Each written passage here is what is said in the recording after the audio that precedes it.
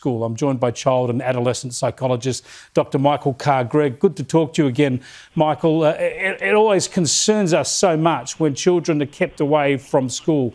There's been a year of practice, if you like, so a lot of people, teachers, parents, and students, have had a bit of experience at home learning.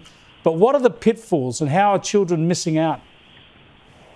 Well, there are only three really important things that children need to do developmentally, and that is to be with their friends, uh, to go to school, and to emancipate from mum and dad. And unfortunately, lockdowns thwart all three of those significantly, and the psychological cost is huge.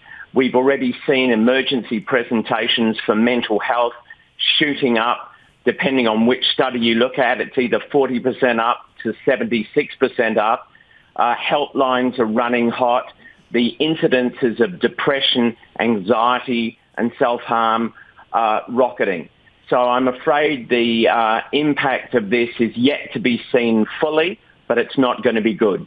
Yeah, look, it's terribly worrying. Now, uh, there has there's a lot of focus, naturally enough, on the academic side of it. And if you have uh, parents helping out a lot or particularly well motivated students, of course, you can do well in remote learning. But crucially, what you're talking about is that lack of socialisation. Yeah, and look, there will be some kids who love um, home learning. I've got a few clients who just love the no distraction and love being able to concentrate and focus on what's going on. But they are the minority.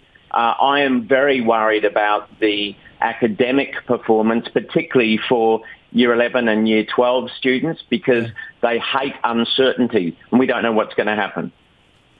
Yeah, yeah, it's a hell of a worry. Now, tell us, so we've seen so much medical advice. I've spoken to medicos around the world over the last year who talk about the minimal medical risk of the virus to children in a school setting. They say it should be the last thing we ever do is keep kids from school. Yet, why do we have state governments still keeping kids away from school?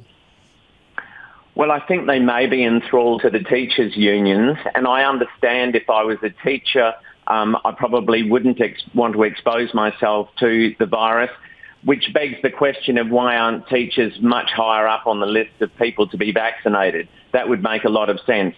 Uh, the natural world of a young person is at school. That's where they should be. Yeah, thanks for joining us, Michael. I appreciate it. Pleasure.